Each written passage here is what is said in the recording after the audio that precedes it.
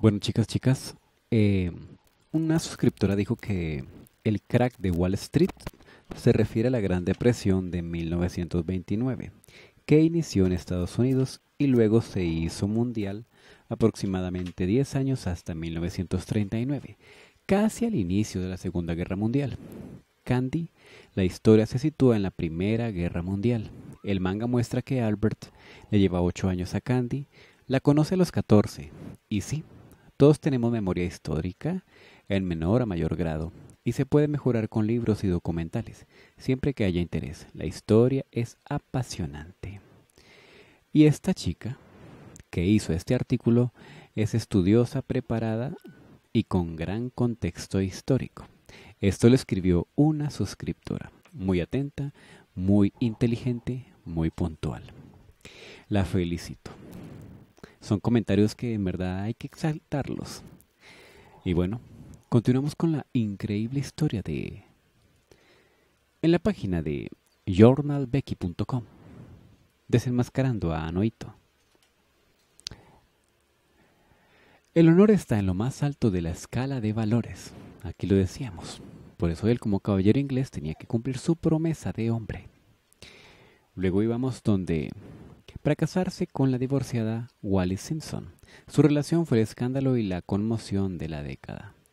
En Estados Unidos para casarse se necesitaba una licencia de matrimonio, con consentimiento de los padres o de la familia, documento legal firmado, ya que el matrimonio se entiende como un contrato entre dos familias y no entre dos individuos. En caso de la boda Archie Annie, el consentimiento es otorgado por el tío William. En el caso de Candy, forzado el compromiso. Con Neil, el consentimiento es dado por el Consejo de Ancianos de los Andri. El tío William anula el consentimiento. La mayor parte de estas normas siguieron vigentes aún después de 1950. Por el contrario, en el Reino Unido, la licencia de matrimonio no cambió mucho desde la Edad Media. No se necesita consentimiento alguno de la familia, ya que el matrimonio se entiende como un contrato directo entre los individuos que se van a casar. La sociedad de la época entiende la adopción de Candy por Sir Williams como una obra de caridad más. Este punto es importantísimo a tener en cuenta. La sociedad de la época entiende la adopción de Candy por Sir Williams como una obra de caridad más, una obra de caridad. Los desplantes que Candy y Annie reciben en el internado son normales. No es personal, sino que es una discriminación típica hacia todo aquel que se salta la escala social. Candy recibe un subsidio y una dote, pero nunca tendrá derecho a heredar lo mismo pasa con Terry, ya que los hijos ilegítimos o adoptivos no pueden heredar, y esto no cambiará hasta finales de 1970, tanto como en el Reino Unido en virtud de la ley de la legitimidad. En la serie de televisión, Elisa le da a Nils la idea de casarse con Candy, y así recibirían su dinero una vez ella herede, después de la muerte del tío William. Esto es un anacronismo por Toei, Supongan que ellas, ellos querían maquilar esta gran trampa, ¿no? Y más adelante incluso iban a hacer que William, el bisabuelo Williams, de alguna manera falleciera. Y si Albert, al ser tan joven, ellos iban a ser capaces de hacerle daño al propio Albert. Solamente para quedarse con la herencia, así de viles y rastreros son Elisa y Neil. En el manga y las novelas, Mizuki lo explica mejor con él, manteniendo la familia como rehenes y usando la muerte de Steer como chantaje. Si no se casa con Candy, esto puede ser más probable. Mizuki se tomó cierta libertad al escribir la novela. A Terry nunca se le permitiría utilizar el nombre de Granchester. Otro anacronismo. Es el comportamiento de Candy. Y a menudo está fuera de lugar. Especialmente mientras trabaja para los Ligans en la mayoría de los casos, es la pura imaginación de Mizuki. Más que la representación real de un huérfano en 1910. Para que la élite, el espíritu libre de Candy, es una molestia. Pero a la propia Candy, el sueño americano le anima a hacer lo que le plazca, que sigue siendo una idea absurda para la élite estadounidense y sus homólogos británicos. En la novela hay una clara referencia a la primogenitura del varón. El único sucesor de William era yo. Entonces, con solo ocho años de edad, el cabeza de la familia solo podría ser un descendiente directo de Andrew, de nombre William. Cuando mi hermana Rosemarie aún estaba vivo, yo aún podía relajarme. Rosemarie era la única que realmente me entendía. Ella se sentía profundamente apenada y le preocupaba más que nadie mi posición con una identidad falsa. Página 296-304. Eso significa que Rosemarie, la hermana mayor de Albert, hermana mayor de Albert, Rosemarie, no es elegible para heredar el patrimonio. Esto se trata de una antigua regla feudal inglesa. Con la intención de preservar que las grandes propiedades pudieran ser divididas en pequeñas explotaciones, lo que podría debilitar el poder de los nobles. El primer hijo, legítimo varón, hereda todo el patrimonio de sus padres, sin embargo, esta regla no existe en los Estados Unidos. Esto podría probar que William Albert es parte de alguna nobleza europea. Uy, Dios mío. William Albert podría ser parte de alguna nobleza europea. Esto no lo sabía yo como teoría. En algunos mangas Rosemarie se presenta como condesa, lo que también convierte a William Albert en conde. En la novela, él es el único personaje que mantiene el título de Sir, reservado para la nobleza menor, ya sea un conde. Recuerden, Sir. Sir. Un varón o incluso un caballero del reino. Los otros hombres ricos y de clase alta son presentados como el señor, excepto el gran duque de Granchester, que es el de alta nobleza. En la escala social de la novela queda representada así, empezando por lo más alto. De clase alta superior, el gran duque de Granchester, alta nobleza, aristocracia, y Sir William, baja nobleza. Ya sea caballero o conde. De clase alta media, los Ligan o los Corwell, ¿Qué clase alta baja? Los Brinton. Clase alta, media, los Ligan, los Corwell. Clase alta baja, los Brinton. Clase media liberal, Vincent Brown, señorita Eleanor y el director Leonard. Leonard. Leonard. A salió más bajo la clase obrera los empleados de Albert o las enfermeras. La clase pobre, los niños abandonados viviendo de caridad. El gran Gatsby y el color púrpura quizás pueden presentar ejemplos más claros de las escalas sociales de los Estados Unidos en 1910 y 1920. En la novela también aparece un personaje secundario nuevo, que en un principio tal vez no parezca gran cosa, no exista en la novela anterior, ni en el manga, ni en las animaciones. Slim. ¿Recuerdan a Slim? Era un mulato de ojos grises con cara de tristeza.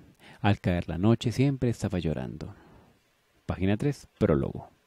Mizuki lo necesita para darnos una referencia geográfica de donde Candy y Anoito viven en la actualidad. Sabemos que Candy vive en algún lugar, al otro lado del océano. Esta es otra pista. La parte donde se habla sobre Slim. No lo olviden. Un mulato de ojos grises, con cara de tristeza. Al otro lado del océano, también es cierto que si ella estuviese viviendo en los Estados Unidos, hablaría de una gran depresión. recesión económica en la década de 1930. En cambio, ella menciona, hubo una gran guerra. Son tiempos peligrosos. La situación mundial es muy inestable. Es referencia al interbellum, como ya lo había explicado nuestra amiga suscriptora, conocido como el periodo de entreguerras que afectó sobre todo al territorio europeo. ¿Dónde en Europa está exactamente Candy? El río Avon fluye libremente. Seguimos con el Interbellum, conocido como el periodo de guerras que afectó sobre todo el territorio europeo. Pero ¿dónde en Europa está exactamente Candy? El río Avon, o Avon, influye libremente recibiendo el sol de la tarde de esta temprana primavera. Página 230-235. Así como la relación con Slim fue anoito. Hace algunos años se encontró con la pintura en un mercadillo en Londres. Esta es la primera indicación. Uy, Dios mío, esto hay que anotarlo. en un papel. Son las pistas, ¿oyeron? Slim Juanoito hace unos años se encontró con la pintura en un mercadillo en Londres. Esa es la primera indicación, así como la relación con Slim. Luego viene la segunda pista. Slim, ¿dónde estás ahora? Espero que aún estés vivo. Yo había organizado una búsqueda, pero no encontré ningún rastro de Slim. Eso nos da un área geográfica limitada al Reino Unido. Un lugar, en lugar de cerca de un río Avon, pero también de cierta distancia en coche. Un día de Londres. Si Candy organiza una búsqueda para encontrar a Slim, tendrá que hacerlo ella misma. En 1930 no existen muchos métodos disponibles para buscar a personas desaparecidas. Para mí, tampoco sería de extrañar que también viven cerca, a cierta distancia en coche, en Southampton. Este es el puerto, transporte, comunicaciones directos con los Estados Unidos, en el caso que necesiten evacuar Europa si la guerra comienza, o para recoger paquetes que llegan del otro lado del océano o ir al encuentro de los familiares que viven de visita. Que vienen de visita. También sabemos que Anoito conduce un vehículo. Anoito conduce un vehículo. ¿Cómo es que no puede escuchar el regreso de su coche? página 230, 231. Para usar un automóvil se necesitan al menos tres cosas.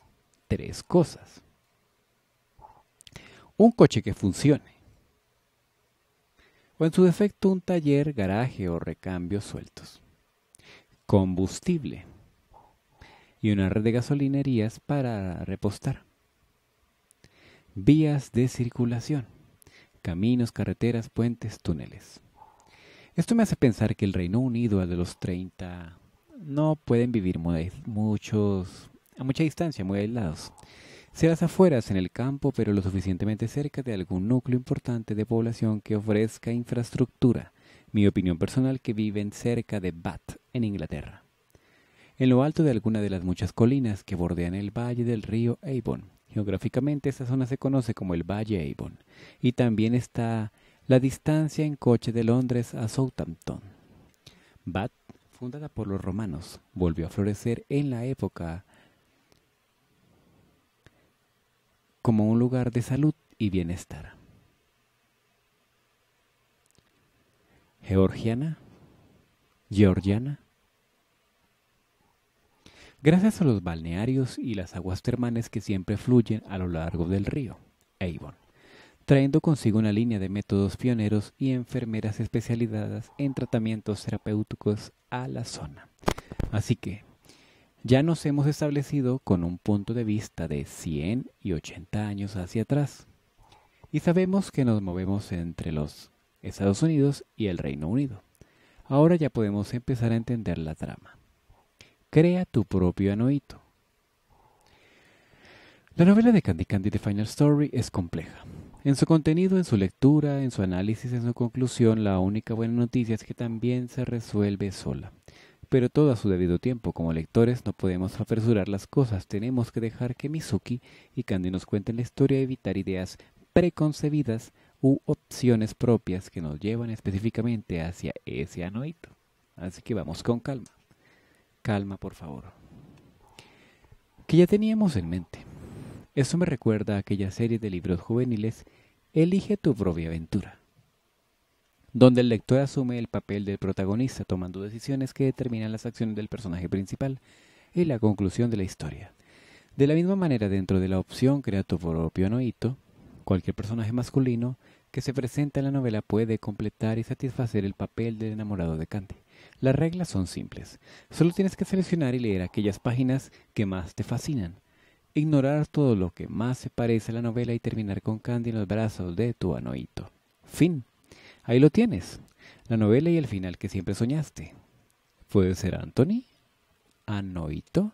¿Anzo? ¿Anoito? Por supuesto que sí. Solo es necesario que ignores unas 200 páginas más o menos, especialmente aquellas partes donde está realmente muerto. ¿Puede ser Terry Anoito? Efectivamente, solo es necesario hacer caso omiso de unas 200 páginas sobre todo el epílogo. ¿Puede ser Albert Anoito? Claro que sí. Solo es necesario pasar por alto unas 200 páginas más o menos, sobre todo la sección 2. Lo único negativo que esta opción tiene para poder resolver el misterio de esta novela es que individualmente cada lector siempre tendrá un auténtico anoito de derecho pleno. Vale, Mejor olvidarse de cubrir una fábrica de anoitos por el momento y nos centramos en la propia historia. Ya sabemos que Anthony, Terry y Albert son anoito, si tú así lo decides. Y recuerden, omitiendo 200 páginas. O sea, prácticamente salteándote y, y creyendo en lo que tú quieras. Pero ese no es, ese no es el ideal. Cuando se leen las páginas de la novela en el orden correcto, el lector refleja y empatiza con los sentimientos de Candy. Lo más probable es que también experimente en su vida estar todo excitado y bajadas de ánimo, volverse melancólico, tal vez incluso llorar. El ritmo de la novela imita al de una montaña rusa. Por cada subida lo más probable es que también habrá una baja.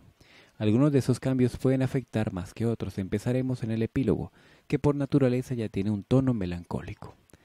Para pasar a las primeras páginas, en la sección 1, aquí aparece la primera profunda decaída de Annie deja a Candy y el hogar de Pony para empezar su nueva vida. Inmediatamente después estamos ante la primera subida. Candy se encuentra con un príncipe en la colina de Pony. Imagino que esto era la parte triste. Luego se encontró con su príncipe y luego terminó encontrándose con Anthony, pero Anthony fallece, van a pique. Luego la recuperación de Candy en toda su, su travesía, Terry le ayuda a olvidar a Anthony, llegan las, las discusiones y los problemas que ellos han tenido, las demostraciones de afecto entre ellos dos, ahí es el sube y baja, sube y baja. Luego llega Susana Marlowe y los manda hacia el piso. Luego se encuentra con Albert y se queda viviendo con Albert. Y esto eh, representa un subidón más bien como alto, según la estadística. Luego baja en picada y dice Anthony, pero todavía no logro entender por qué. Y al final Anoito.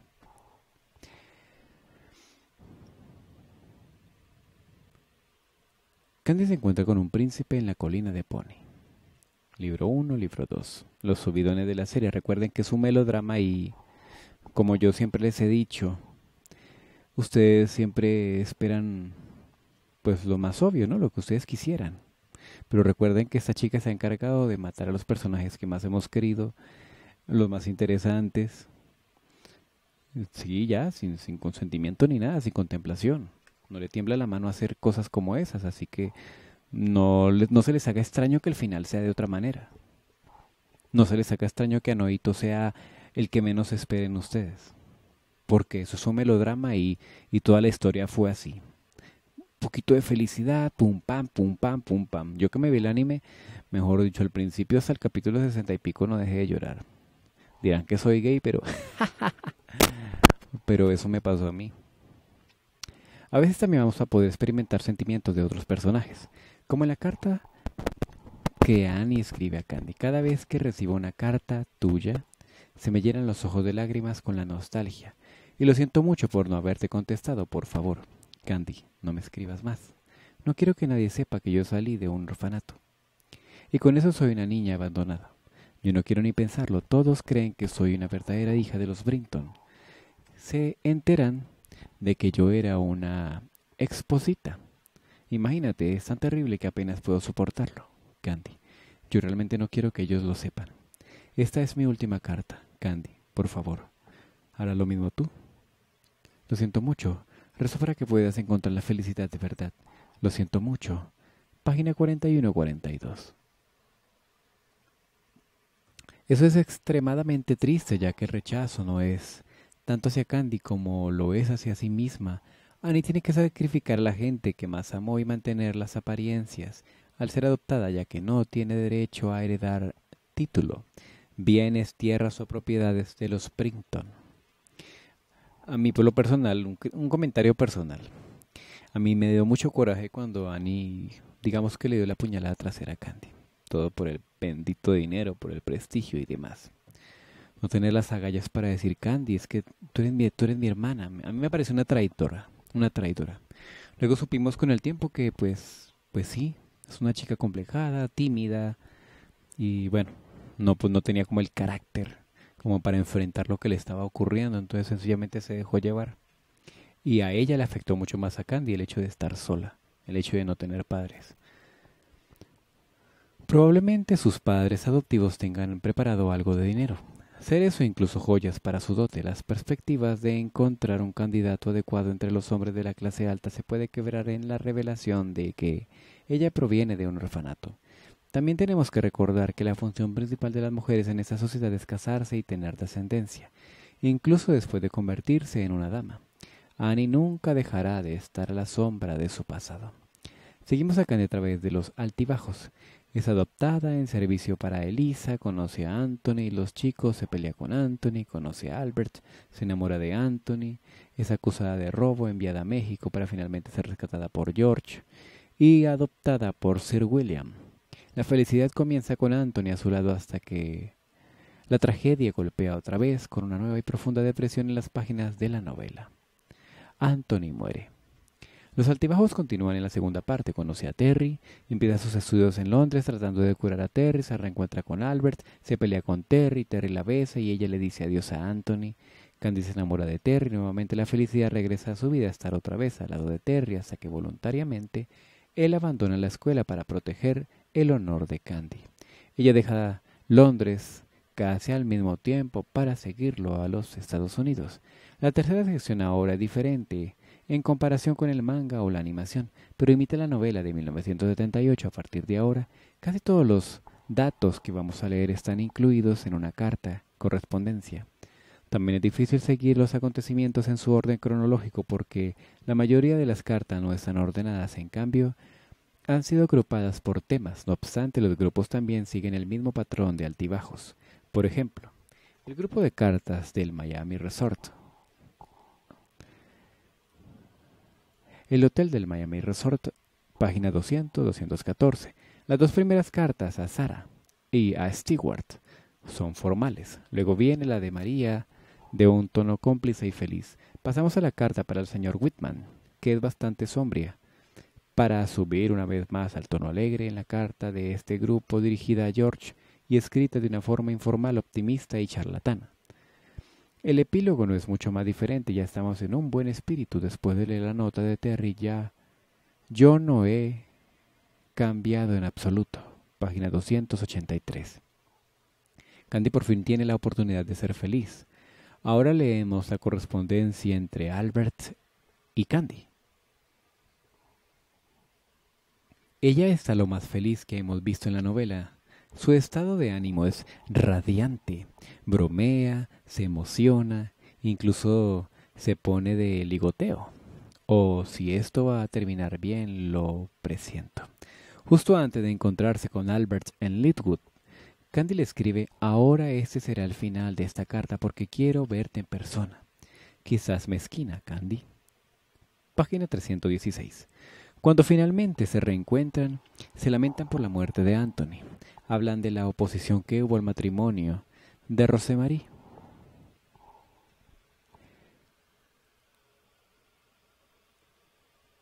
y le devuelve el diario a Candy. Básicamente, es esto una decepción considerando que esta iba a ser una conversación íntima. No hay un beso, no hay una confesión de amor, nada de nada, pero lo peor está aún por llegar. En la carta para Anthony, he sido desarrollado por un, he sido arrollado por un tren. Eso es todo. Esa es la carta más triste de todo el libro. Y ya para terminar, Candy corre los brazos de Anoito, lo que nos da esperanza una vez más. ¿Qué ha pasado aquí? ¿Me he perdido de algo o todo? Quizás tengas que dejar de que la información que se asiente un poco la cabeza por algún tiempo, o tal vez quieras leer la sección 3 de nuevo.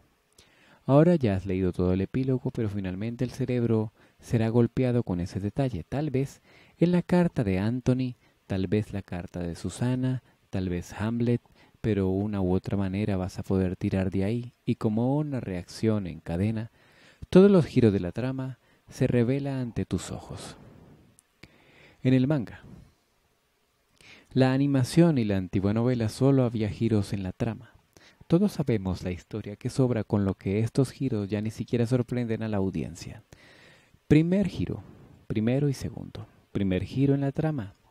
Albert es Sir William A. Andry. ¿Qué? ¿Albert es el tío William? ¿El vagabundo ese es el millonario? Tú estás bromeando, ¿verdad? Segundo giro en la trama. Albert, tío William, es también el príncipe de la colina de Pony. ¿Qué? ¿Albert era el príncipe todo el tiempo? No me lo puedo creer.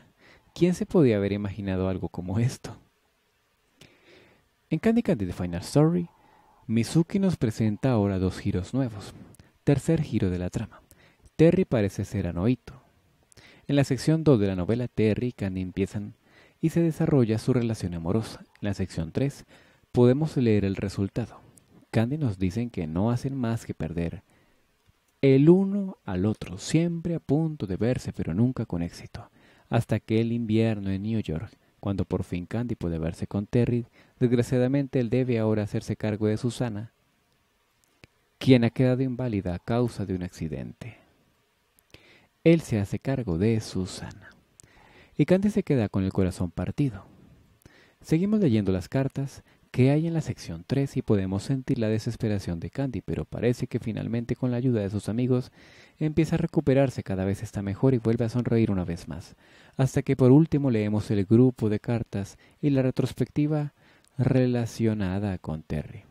271, 283, justo antes del epílogo. Parece que Candy es inestable, sufre algún tipo de desequilibrio o simplemente mantiene las apariencias mintiéndose a sí misma.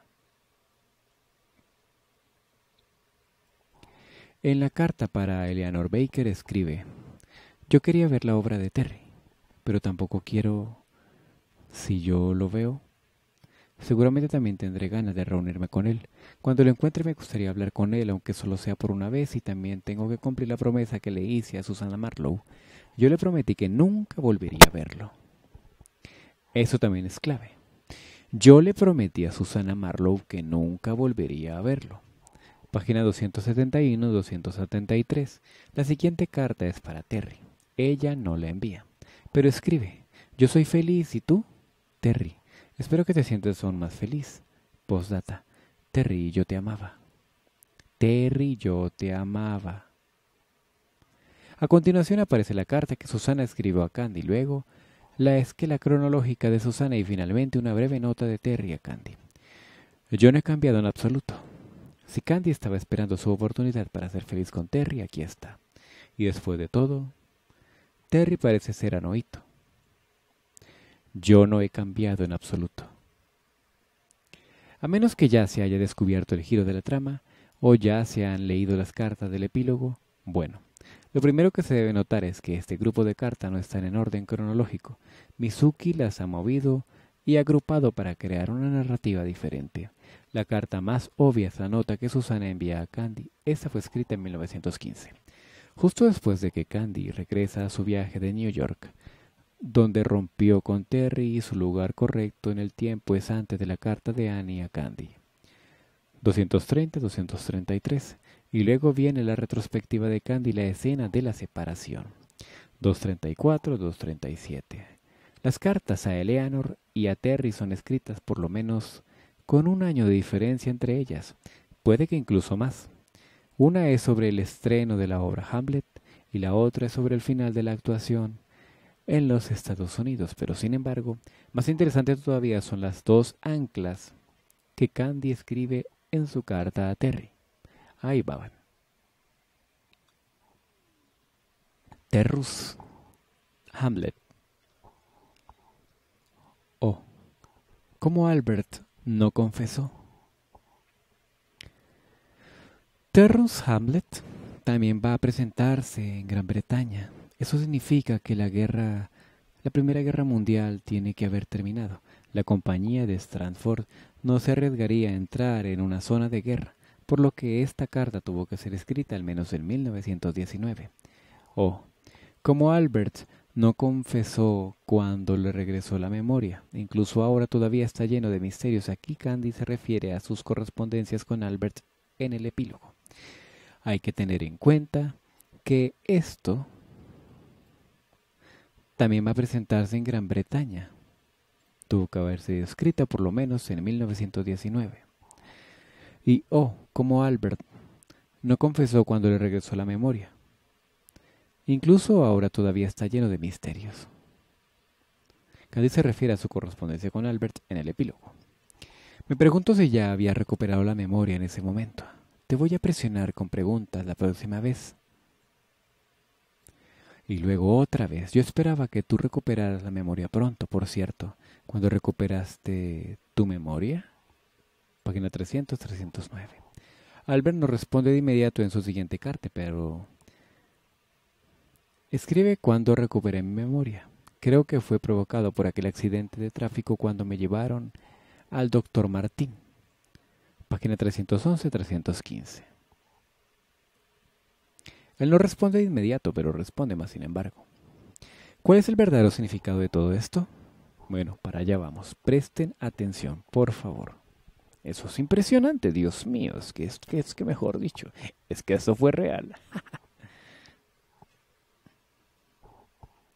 ¿Cuál es el, verdadero significado de todo esto? Bueno, la primera vez que leemos el grupo de cartas sobre Terry pensamos que Candy se miente a sí misma, porque no sabe lo que quiere realmente. Quiere ver a Terry, pero ella no quiere verlo por la promesa que le hizo a Susana. Ella lo quiere ver, pero le prometió a Susana que no se vería con Terry. Y, bueno, que cumpla su palabra o no, habría que mirar. Por último, escribe que se siente feliz en una carta a Terry que ella no manda. ¿En serio? Pero una vez que comprendemos que Mizuki ancla la carta que Candy le escribe a Terry en 1919 en lo más alto de su correspondencia con Albert, hace que el significado de esa carta para Terry sea completamente diferente. Cuando Candy escribe a Terry, en realidad lo hace mientras espera una respuesta de Albert. Cuando Candy escribe en 1919, yo soy feliz, ella realmente es feliz, con Albert. Cuando escribe postdata, Terry, yo te amaba. Candy no se confunde, ella realmente sabe que sus sentimientos de amor por Terry han terminado. Han pasado seis años desde su, relación en el Reino Unido y desde su separación en New York cuatro. Seis años de su separación en el Reino Unido y cuatro en New York. También tiene sentido que Candy escriba sobre esto. Es lo que en la terapia cognitiva se conoce como poner tu pensamiento por escrito ella tampoco necesita enviar la carta, de la misma manera que cuando escribe a su diario, yo quería decir con esto con la parte más alta de mi voz. Terrus, te quiero, más que cualquier otra persona.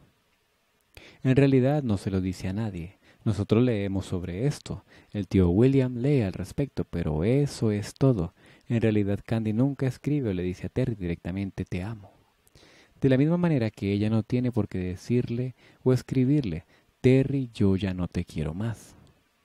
Pero en cambio esto se le escribe a sí misma para cerrar el círculo. Terry se ha terminado. De hecho, Mizuki escribe cuatro despedidas diferentes para la relación de Candy con Terry. Quiero decir algo importantísimo para las chicas que han llegado hasta aquí, que sé que hay chicas que sí llegan. Incluso hasta el final, porque por eso hacen comentarios bonitos en la caja y por eso opinan y cuando me equivoco en algo me corrigen o me dicen o me explican o aportan. Recuerdan que cuando Mizuki, esto es clave también, pero eso lo voy a decir según yo, según yo antes de que continuemos. Recuerdan que cuando Mizuki, cuando ella escribió sobre la, sobre la despedida, ella, ella cuando, cuando escribió sobre, sobre Anthony, que Anthony había muerto, ella lloró, ella sufrió mucho. Pero cuando ella escribió que Terry se había despedido de Candy, ella lloró bastante. ¿Por qué lloró Mizuki? Por Terry por la despedida de Terry Candy. Porque ya como había hecho con Anthony, que lo había matado luego a entonces hizo algo más, que no fue matarlos, pero sí, pues mató el amor que había ahí. No porque no se quisieran, sino que había un giro del destino que los había arrebatado. Así, las agallas que tuvo ella para tomar con determinación esta acción. ¿Y por qué lloró Mizuki? porque en el fondo ella sabía que no los iba a volver a unir. ¿Cómo se va a llorar por algo? Sí, o sea, es como llorar por algo. Es como si usted supiera que puede recuperar algo. Usted dice, ah, bueno, no, no hay, no hay, por qué llorar, lo podemos obtener con el tiempo. Ya llegará algo mejor o cuando pueda lo compramos nuevamente. En el caso de algún, de algún artículo o algún suceso de la vida. Dice, no, no, no, no llore, que eso se recupera. Pero porque ella lloró mucho cuando escribió que Terry había dejado a Candy. Ella lloró, ella lloró y explicó que había llorado y la gente no entiende esto. Ella lloró porque ella sabía que esto era una decisión que no tenía retorno. Ella no iba a cambiar esa decisión y por eso ella sufrió al escribir este pedacito de carta. Esto lo digo yo, el príncipe de la colina de este canal tan impresionante. Dios mío. Terry, yo ya no, no te quiero más. Pero en cambio eso se le escribe a sí misma para cerrar el círculo. Ella escribió esto, pero al parecer no se lo entregó para, claro, era algo muy de manera emocional, ¿no? Algo espiritual, algo, emocional, necesitaba esa paz interior. Tenía que decírselo, pero no se lo iba a decir. No, no iba a ser capaz de decírselo, más sin embargo, sí necesitaba cerrar un círculo. Un ciclo más bien. Terry se ha terminado. De hecho, que escribe cuatro despedidas diferentes para la relación de Terry y Candy no cuando salen de la escuela, porque aquí él desaparece sin decir adiós y Candy aún tiene muchas esperanzas de volver a verlo. Terrence Cranchester se ha ido, dejando muchos recuerdos. No puedo decir recuerdos, se ha ido. Algún día nos volveremos a encontrar de nuevo. Página 143-146. El único adiós físicamente que existe entre ellos es cuando se despiden en New York. Esto es a finales de 1915. Cuando yo estaba a punto de salir del hospital, de repente Terry me abrazó por detrás, estrechándome fuertemente solo un poco más, así, tal cual. 234, 237. El segundo es un adiós psicológico de Candy a Terry en el Rocktown. Yo quería asaltar el interior de aquel destartalado teatro y golpear a Terry en el pecho, pero mientras gritaba, pensé que para aquella noche, cuando yo cuando rompimos. 271, 273. La tercera también psicológico de Candia Terry, en la carta que ella no manda, Terry, espero que tú te sientas aún más feliz. En el último es un adiós con Albert como testigo. Ese diario era sobre todo acerca de Terry. Yo también estaba preocupado por ese diario. Ahora el diario que una vez mande de vuelta regresó a mis manos de nuevo. Sin embargo, yo nunca lo abrí. Voy a pedirte que lo cuides de nuevo, al igual que tú enviaste el medallón de vuelta a mí. Al igual que tú enviaste el medallón de vuelta a mí.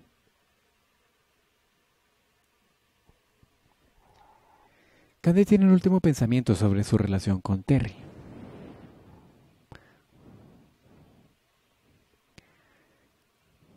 Carta de Candy a Anthony donde escribe, en Londres me sentí fuertemente atraída por alguien que se parecía a ti.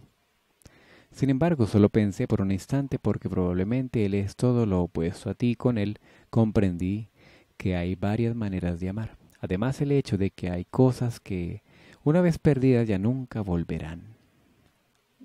Cosas una vez perdidas nunca volverán. Esto no es un adiós sino un refuerzo de sus sentimientos por Terry. Ya no regresarán. Por lo tanto, no importa cómo se ponga, de cualquier manera Mizuki siempre hace que Terry pierda para beneficio de Albert. ¿Comprenden eso, chicas? Mm, pero no se desanimen las territanas. Todavía no hemos concluido, todavía no hemos descifrado a Noito, no hemos llegado ni a la mitad. Si dejamos la narrativa de la novela de la misma forma en la que escribe Mizuki la nota de Terry, queda marginada con la correspondencia entre Candy y Albert del epílogo. Cuando ponemos las cartas en su orden cronológico es aún peor, porque la carta para Terry no te amaba depende directamente de Albert. Esas tres cartas que Candy escribe, pero no envía a Steer, a Anthony, en realidad son cartas que se escribe a sí misma. Todas ellas son parte de su propia terapia, una terapia psicológica. ¿Por qué necesitaría una terapia psicológica? La única manera es tratar de olvidar. O si no, no habría manera. Seguiría con la esperanza. Aun cuando las cartas están dirigidas a diferentes personas, están escritas entre momentos dispares. Con un contenido tan distinto, todas ellas comparten el mismo fin, poner por escrito el pensamiento en ese momento dado. Pero, ¿por qué las escribe Candy? Esto nos lleva al último giro de la novela. Cuarto giro de la trama. Albert parece ser anoito. Vamos a dejarlo hasta el cuadro, ¿listo? Albert parece ser anoito. En un principio podemos llegar a pensar que Candy se distancia de Albert una vez que se le convierte en Sir William A. Andry.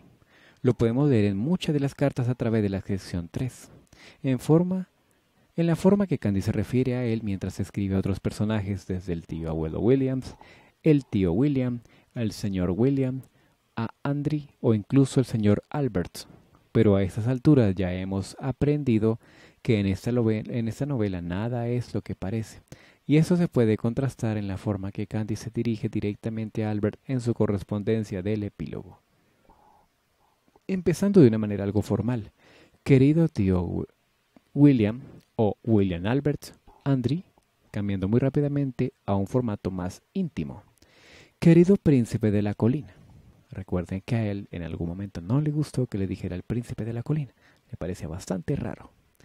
Querido Albert, querido príncipe abuelo, mi padre Albert querido, Bertito. Recuerden que ella le llamó Bert. Pequeño Berto, Además también sabemos que Mizuki ha cambiado el orden cronológico de los acontecimientos para alterar la narrativa de la novela, pero al hacerlo también dejó suficientes pistas para que nosotros podamos anclar estas cartas dentro de la sección 3. Ya he explicado la relación entre la carta no enviada de Candy a Terry y la memoria de Albert, pero hay más. Hay más. La más obvia es la carta que Candy escribe a George página 208-214. Esto, esto queda así porque si quieren y tienen el libro a la mano pueden leerlo como si se tratara de la libra, eh, de, que la libra, de la Biblia. Yo les dijera a ustedes, váyanse al Salmo tal, Salmo 41, Salmo 83, Salmo, Salmo 91. Entonces ustedes van. Jaja. Entonces, página 208, 214, la más obvia de las cartas que Candy escribe a George. Es imposible que Candy pueda saber tanto acerca de George y su relación con Albert y los Andri a menos que primero ya se haya leído la carta de William Alberto le envió. De la misma forma, Candy escribe en su carta a María, 203-204, ¿era yo una hechicera y no lo había notado? Se refleja en el hechizo que Candy le manda a Albert y en la sucesiva respuesta de Albert. Querida Candy, señorita hechicera. El tema se repite varias veces dentro de la misma carta. En la carta que Candy escribe al señor Whitman, Candy pone ahora vivo cerca del hogar de Pony. El lugar de donde vengo. Ahora estoy trabajando como enfermera en la clínica feliz del doctor Martín. Se ancla en las cartas del epílogo a William Albert, me preocupa tu salud, doctor Martín. también dijo que no te deberías esforzar demasiado. ¿No te acuerdas? Tu amnesia podría regresar. Y luego, en cuanto a mí, como siempre, acabo de regresar de la clínica feliz, Martín, y poner a los niños en la cama. Quiero, antes de, terminar, que vamos a dejar hasta acá. Este sería otro, por las fechas, ¿no? Los giros de la trama. Esto ya habíamos hablado que era lo de la, economía. La memoria de Albert. Otra, otro giro en la trama. Quería decirles algo. Bueno, ese también es mi punto de vista, ¿no? Pueden tomarlo y si, y si quieren no. Y si quieren yo sigo leyendo y ustedes ponen atención exactamente a lo que estamos leyendo. Pero yo pues considero que mis puntos de vista también son importantes, por eso los dejo con mucho cariño. Mm. Cuando uno le pone apodos sobrenombres a la gente es porque uno le tiene mucha confianza. Siempre he pensado que la gente que pone sobrenombres, eh, eso es una falta de respeto. Los ponen directamente, bueno, un exceso de confianza cuando usted llega a algún lugar y le ponen un, sobrenombre y usted no ni siquiera ha tenido mucho contacto con esa persona, eso es una falta de respeto, para mi ver. Digo, y no, qué gente tan vulgar, imagínate que acabe de llegar y eso sería para mí. Pero Candy se ha acercado tanto a Albert que incluso lo llama Bert. O sea, esa es la cercanía tan grande que tiene para con él.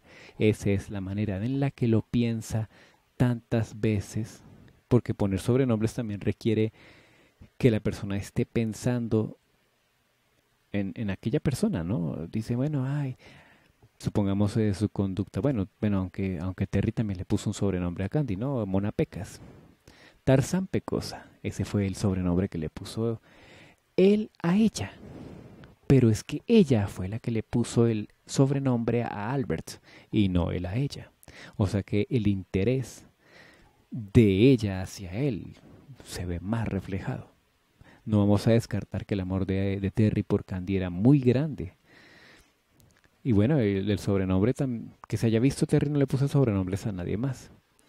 Pero que se lo haya, se, se lo haya puesto con ese cariño, ¿no?